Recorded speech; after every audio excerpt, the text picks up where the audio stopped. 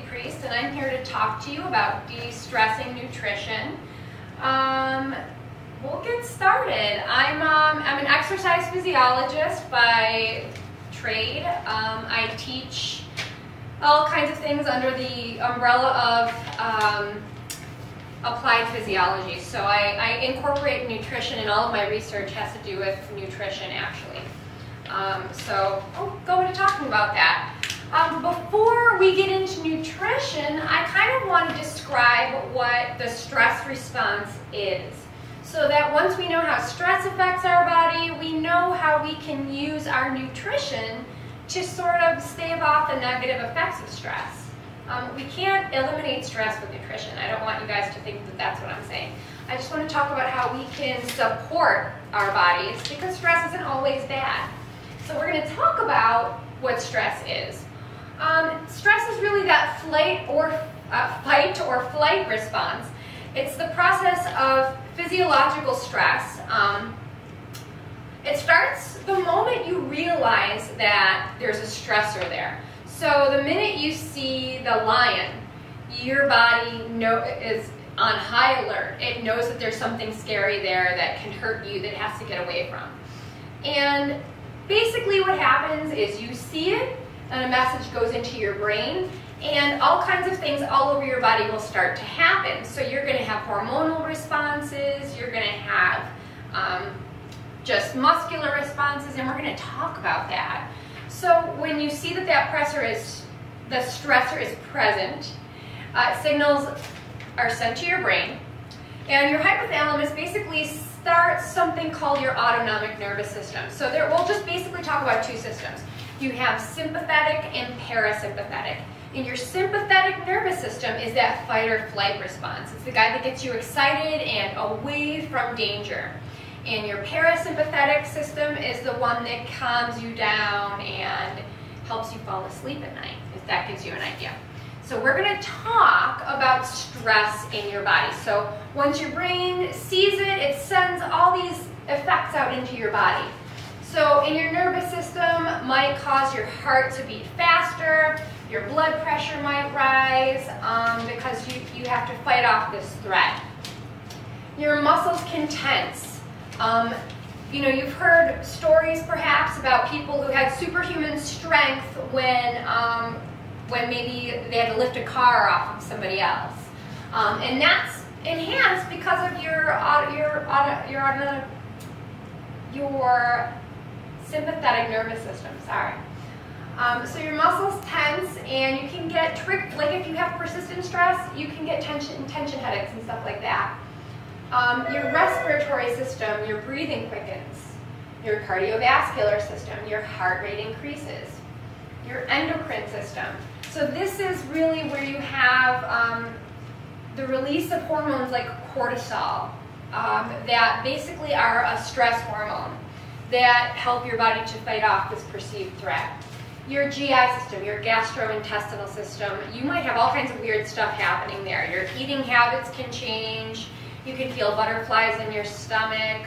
Um, a lot of times what we see here is with persistent stress in situations where you maybe don't eat for a while because you're either working away to get something accomplished or um, you're just so nervous that you can't eat is we wind up having something that we call hedonic eating. So that's like, comes from the word hedonism, where you just enjoy whatever you're eating so much, or you think about whatever really unhealthy things are gonna make you feel full after you starve yourself all day. Um, and then we start to see overeating too associated with stress.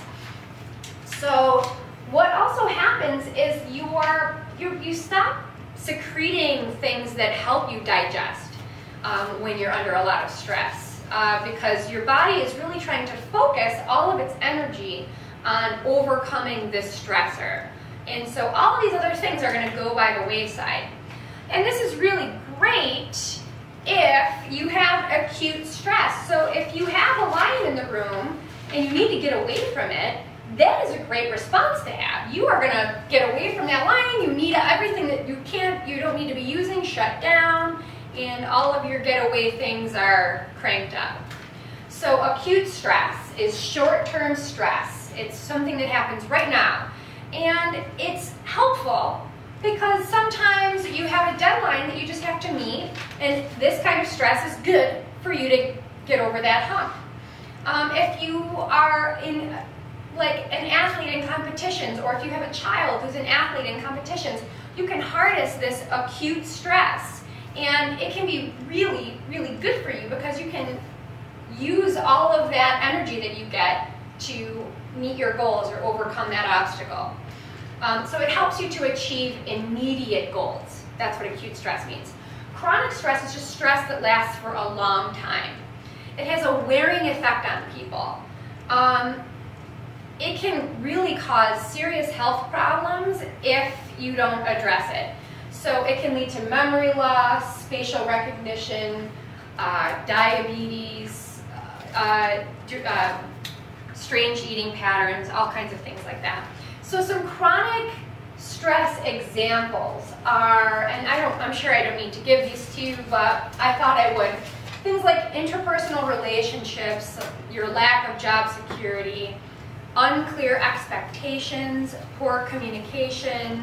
Sometimes it's just talking about politics, um, not enough autonomy, so if you don't have enough control over what it is you're supposed to be doing, urgent deadlines, just having too much work, long hours. A lot of times people don't realize how much stress they're under because the stress is really just the amount of things they have to do.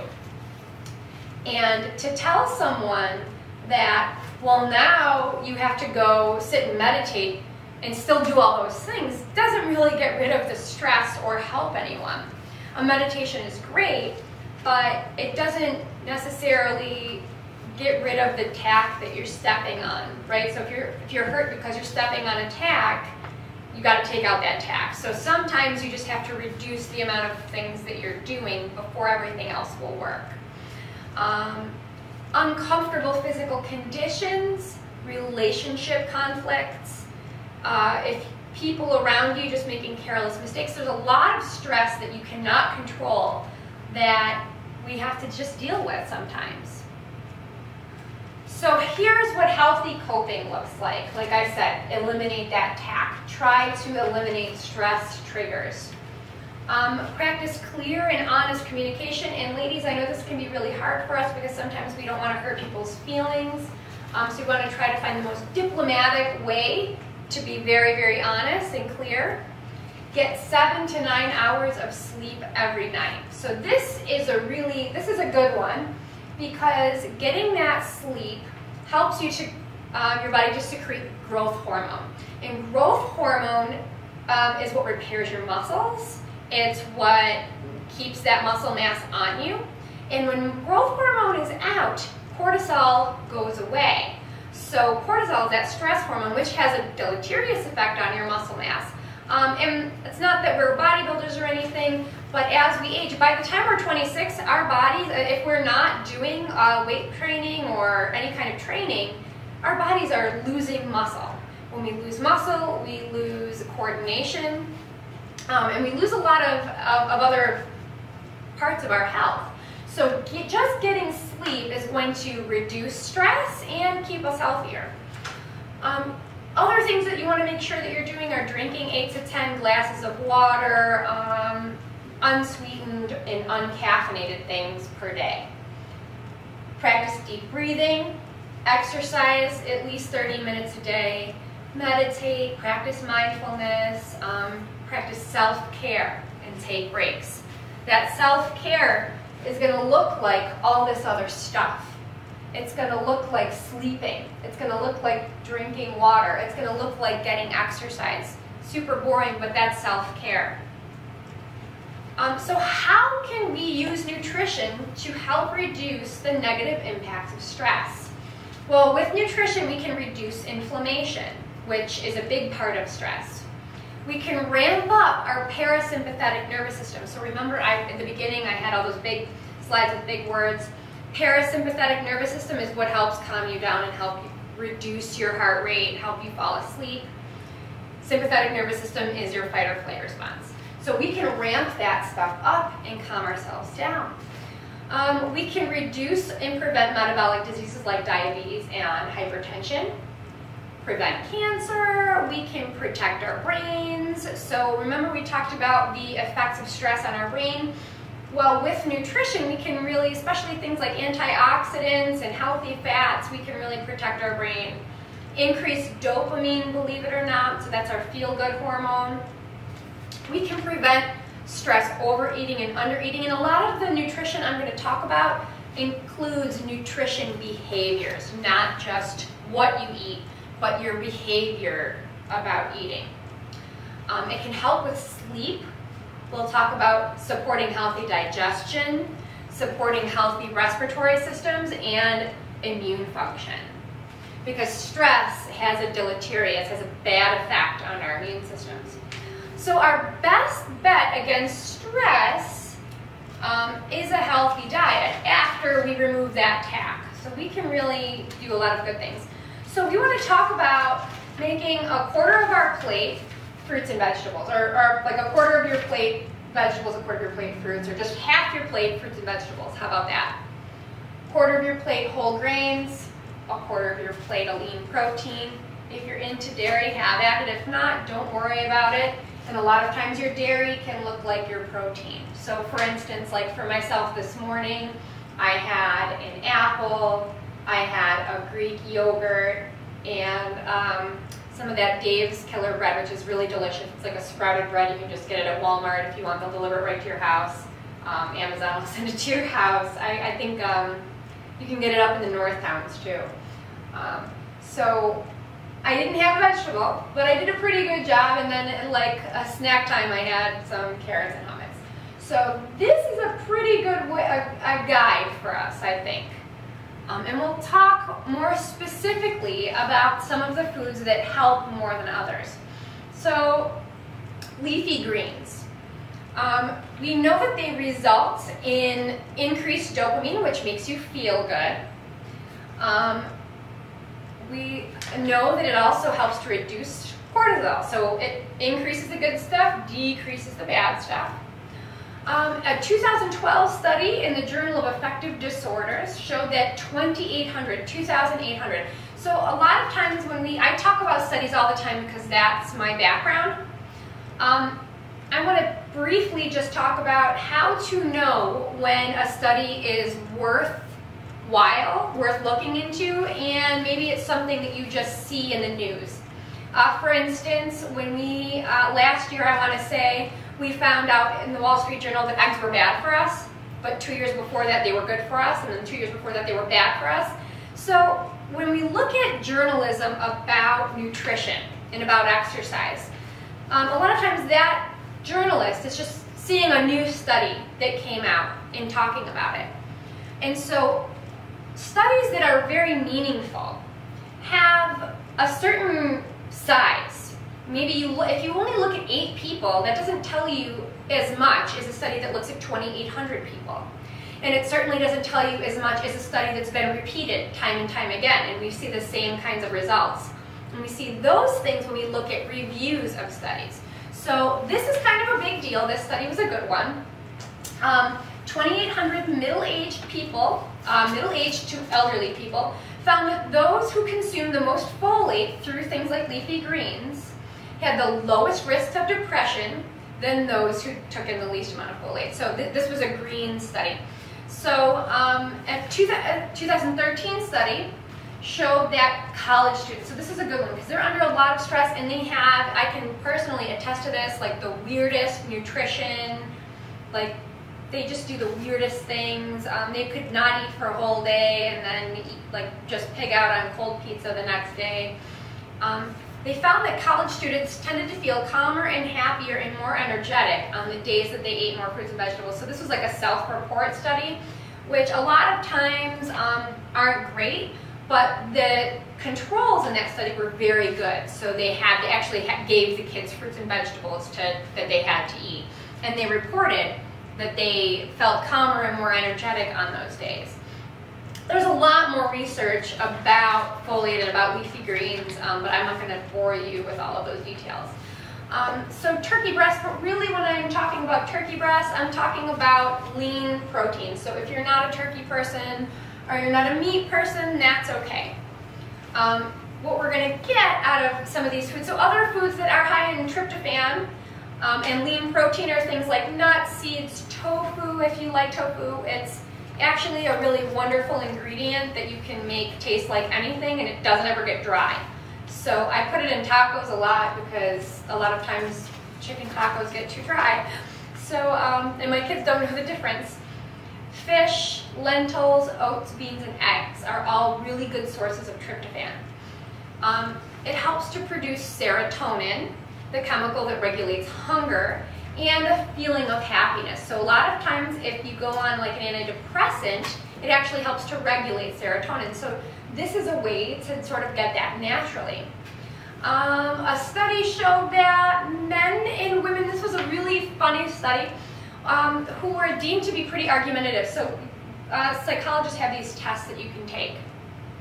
Um, and if you're argumentative, you'll score a certain way. Um, it's a personality test. So they took a tryptophan uh, supplement. And so they found that people who took the supplement for about two weeks um, were more agreeable at, uh, based on what their, how their study partners reported them than when they didn't take it. So this was a double-blind crossover study, which means that they didn't take it for two weeks and maybe they took a placebo, they took it for two weeks, and they looked at both conditions. So that was pretty neat. Um, and there's a lot of studies where we just we just know that we want to fall asleep after Thanksgiving dinner, and um, it's healthy for us in many other ways. So we'll talk about whole grains next. Um, you want to think about things like oatmeal, and you know, I before I went to nutrition school, I didn't know that oats and wheat were two different plants and two different things. So oats and oatmeal are 100% whole grain and you can just microwave it for a minute and it's a whole grain, it's perfectly healthy, it's got all that tryptophan, it helps you with serotonin and all that other stuff. Um, it helps you uh, fall asleep at night actually. Um, if you want to get things that are like pre-made, like a bread, you want to make sure it says 100% whole grain. Ezekiel's a great one. That Dave's Killer Bread is a great one. Um, you can get all kinds at Aldi's now. A lot of times they'll say sprouted. And what sprouted means is that they soaked it so that the seed actually started to use some of the sugars that were in there to uh, begin to sprout. And so it's got more fiber and less sugar than other kinds of bread. So that's kind of cool too. Um, rices like wild rice, brown rice, quinoa, there's farro. Popcorn is a whole grain. Um, if you air pop your own popcorn and throw some Parmesan on it, it's delicious. Uh, it's a great way to get a whole grain. According to MIT research, carbohydrates can help the brain make serotonin. Um, so that's great. Also, we just need a steady stream of blood sugar um, to sort of help our brain achieve things throughout the day. So we get really tired um, without it. Like right now, I can tell I'm getting towards midday. I get like this every day and I start saying the wrong words. But a steady stream of a healthy uh, grain or a healthy stream of uh, glucose is much, much better than a high pop of a simple sugar.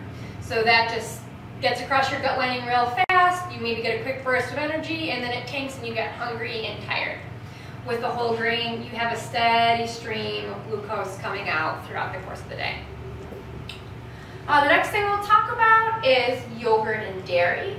So gut bacteria, we learn more and more about it, gosh, every week. There are studies coming out constantly, and it's really nothing short of fascinating.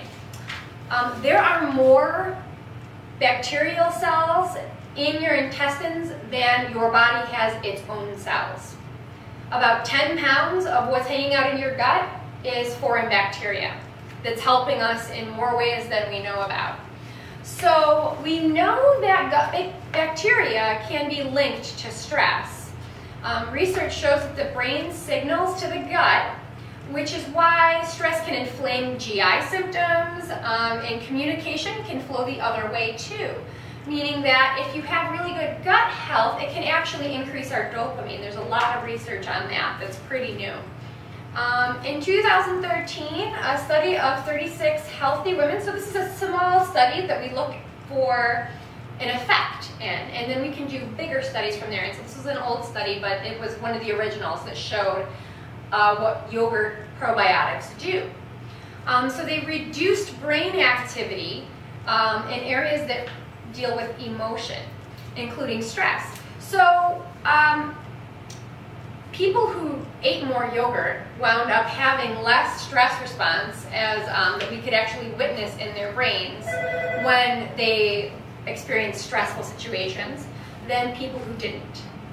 It also has a lot of B vitamins and D vitamins that help to eliminate stress or, or eliminate the effects of stress and help you fall asleep at night. So those are all great. We'll talk about fatty fish and omega-3s.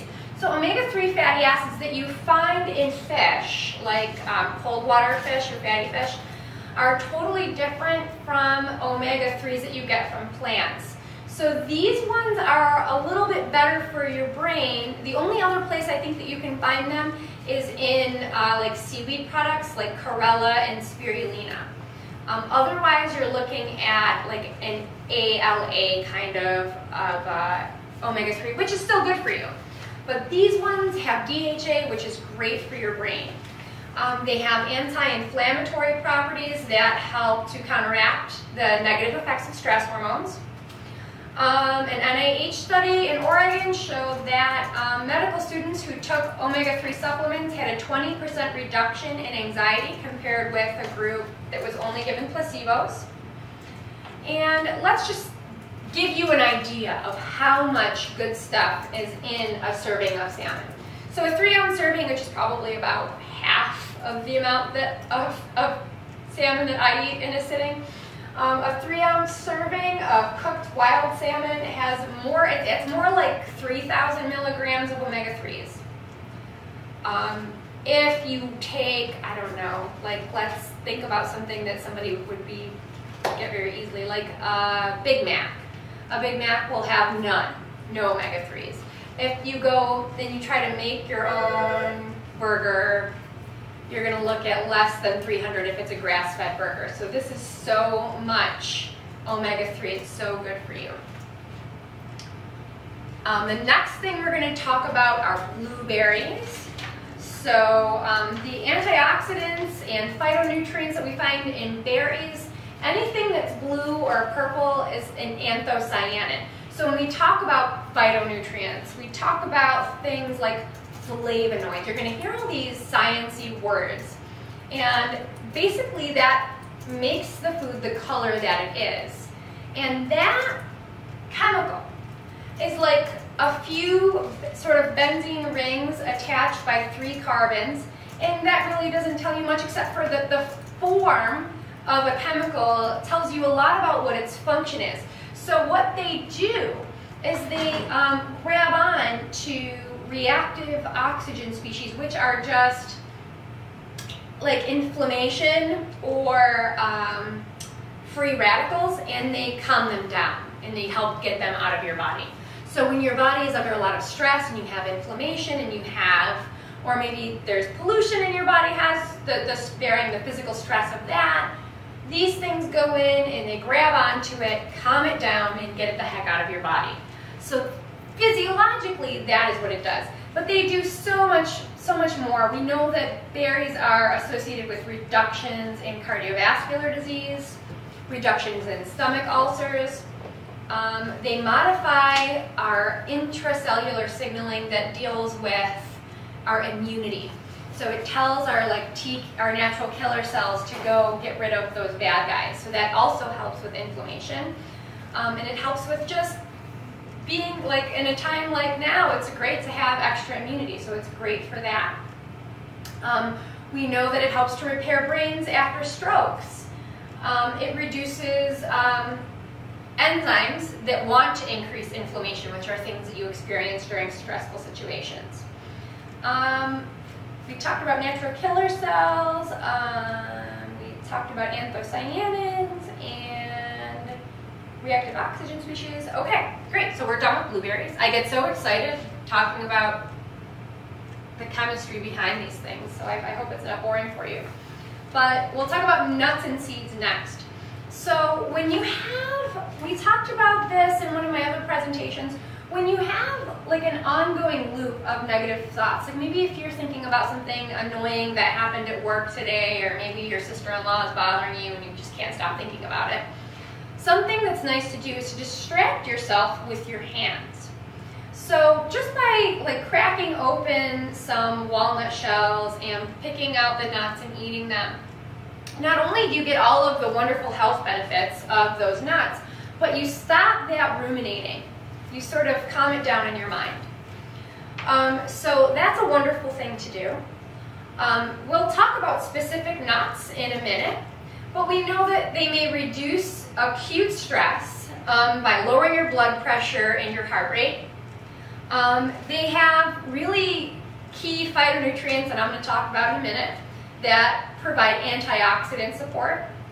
Um, so things like walnuts and pumpkin seeds, we have a lot of omega-3s as well, but those are plant omega-3s that aren't quite as good for your brain as the, as the salmon was. Again, um, fatty fish, if you're a vegan and you're not into that or you just don't like salmon and you want to try something else, you can buy something called spirulina, which is just a blue-green algae which does have some um, DHA in it, or chlorella is another one and it just comes as a powder and you just dump it in your smoothie and you don't even taste it. But it does make everything green. So back to omega-3s from walnuts and from nuts, we know that that is good for our heart health, it's good for reducing inflammation. Um, we'll take a look at pistachios. Um, we know that they reduce vascular stress and cholesterol. Cashews actually reduce feelings of stress. In some studies we see that, you know, people who snack on cashews, they'll, you know, versus people who snack on things like a caramel or a banana, they feel better um, at the end of their discussion. Um, it's got a lot of magnesium in it, which we know helps our nervous system. It's got a lot of B6, which helps with releasing serotonin, so cashews are great.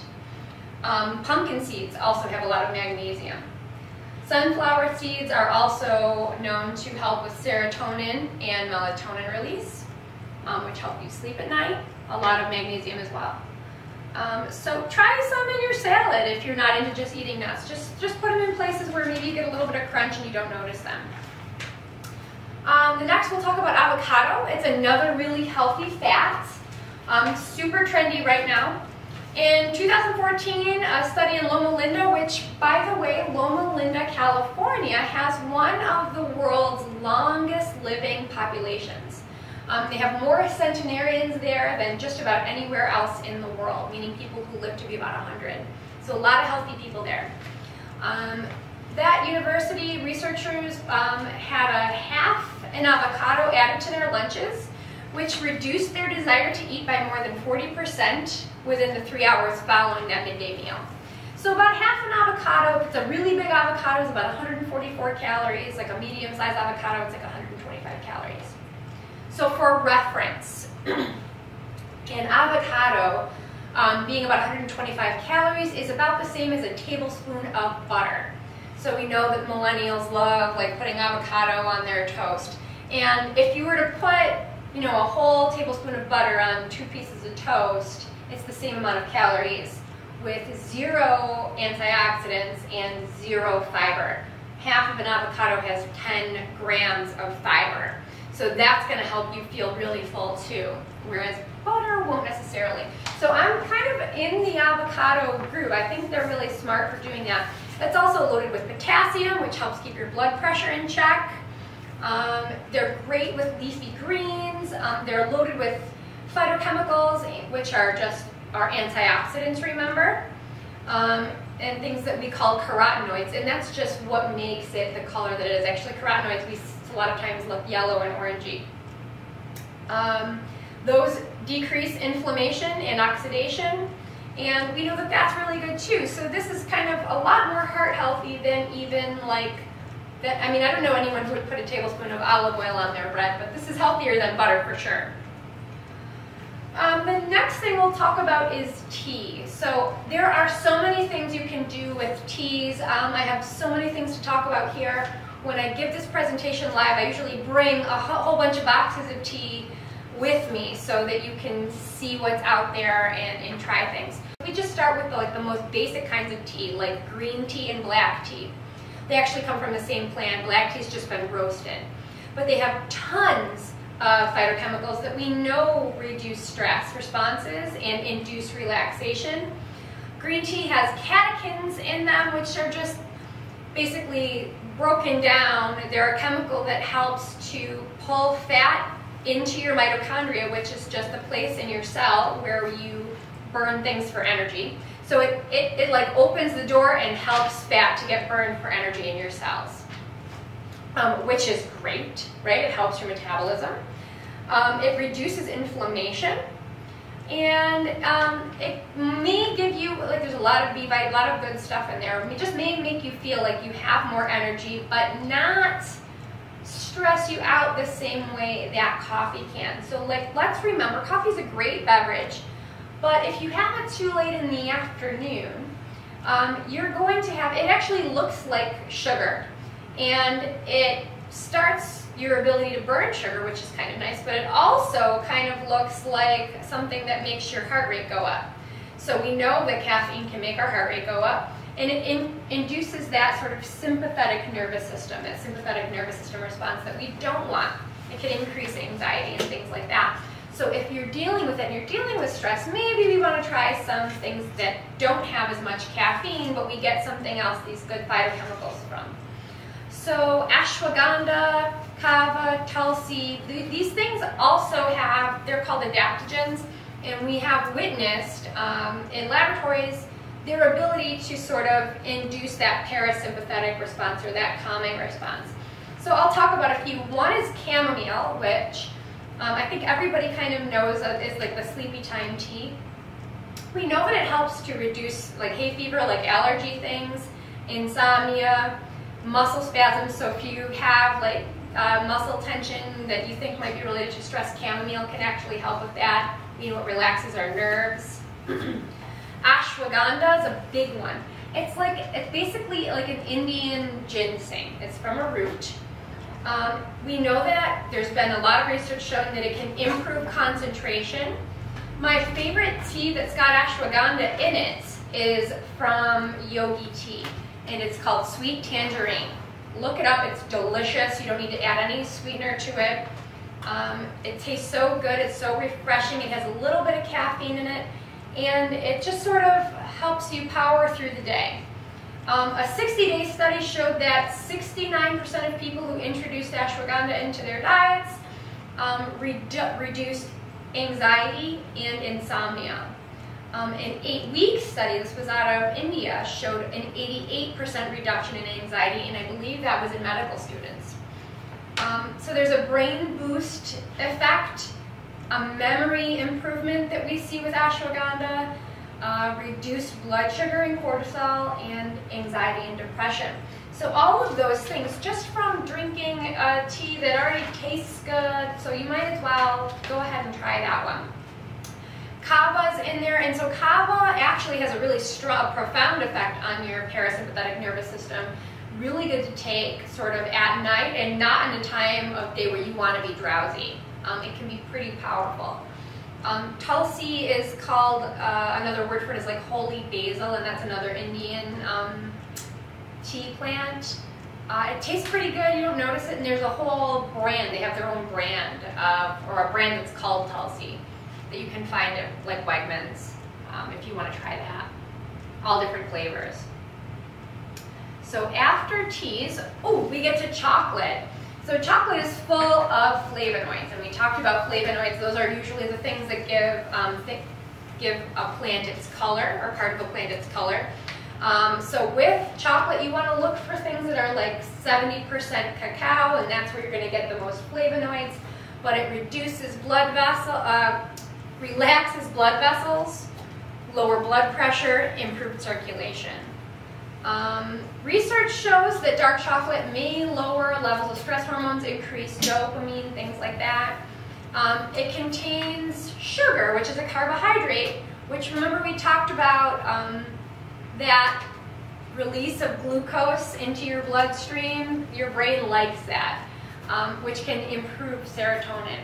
Um, you don't want to go eat the whole bar. Um, some people don't even really like dark chocolate, so what you might want to do is get dark chocolate covered almonds or, or dark chocolate powdered almonds, things like that. Um, it's okay to have a little bit, but keep your portions in check. Um, so things that you want to avoid if you're stressed. So I'll just go through and give this example. I was um, buying my car, I don't know, the last time I bought a car, I'm at the dealership, and it's a really busy dealership, and I could just tell that the guy was doing my transaction at the end. He was, he must have sold four cars that day or something, and he was just running everywhere, his armpits were all sweaty, and you know, he pounded a Red Bull, put it down, he had to go get some other manager, and then by the end, when I'm, he, when I'm signing everything, he's drinking another Red Bull. And all I'm thinking is that he's tired, he's stressed, he's running from one place to another. I don't know when he's last eaten. He hasn't had any water, but he chugged two Red Bulls to get through this. And so I guess what I'm trying to say is that when we're really busy, we try to get this done and then get to the next thing, and get that done and get to the next thing. And we don't take care of our bodies by making sure that it has what it needs. So we want to make sure that we're not just doing things out of convenience so we can get to the next thing. You want to avoid all that easy stuff. I'm sorry. You want to avoid the refined factory-produced foods. You don't want to like run through the Wendy's uh, drive-through, McDonald's drive-through. You want to avoid saturated animal fat. So this is the kind of stuff that happens when you're in this mode of just being stressed and going from one thing to the next thing and you forget to eat um, or you, you don't eat because you're getting these things done first, and then you're starving. And what's satiating? Chicken wings and you know fried chicken and all that other stuff that is full of fat and a lot of sodium as well. So those things you want to avoid. You want to sort of make sure that we're nourishing our bodies so that we can flourish and not kind of just satiate. Um, other things you want to avoid are refined sugar, refined grains. Caffeine, if you're, if you're feeling stressed, caffeine is not a good idea. A lot of B vitamins, which you'll find in those energy drinks, can be really good. But guess what? You'll get them from blueberries, you'll get them from fresh fruit and things like that. Um, so you might want to go with something like a blueberry tea um, or uh, that sweet tangerine ashwagandha tea is like the best. Um, you want to avoid alcohol. Like that thing, that, that's the other thing. When you're under a lot of stress, I think when this whole thing started, my husband and I just, we just wanted to have extra cocktails every night. And that's one, the first, the first day that we stopped doing that, I think we actually did feel a lot better. Um, but alcohol might be the one thing you want to go to to help relieve that stress, but it's really not going to help. And sodium is the last thing we want to avoid. So let's just take a look at some quick snacks that you can make um, with some easy recipes that will help you feel better so that you don't get to the point that you feel like you have to go get a pizza and wings um, in five years. So let's take a look at, you know, we talked about salmon. Maybe for lunch you want to have a grilled salmon, or if you don't have time to cook, go to Tops, get the smoked salmon. It's like, it's a little bit of a splurge. It's like six bucks for a serving. But there's a smoked salmon there. You don't have to cook it all. You just throw it on top of green salad, maybe throw some berries and pumpkin seeds on there and a really great vinaigrette and call it, a, call it your lunch. Um, some really great snacks that might be pick-me-ups are like those Brookfield's dark chocolate covered blueberries or dark chocolate covered almonds, things like that. Just uh, really healthy, like even a full fat Greek yogurt or skyr with berries in it is a great idea make your own overnight oats. Um, you can use yogurt if you want. You can use a soy milk, whatever. But just find something you like and find a way to make it nourishing. You can use some of the ingredients that we talked about today and find ways to de-stress with your nutrition. Thanks.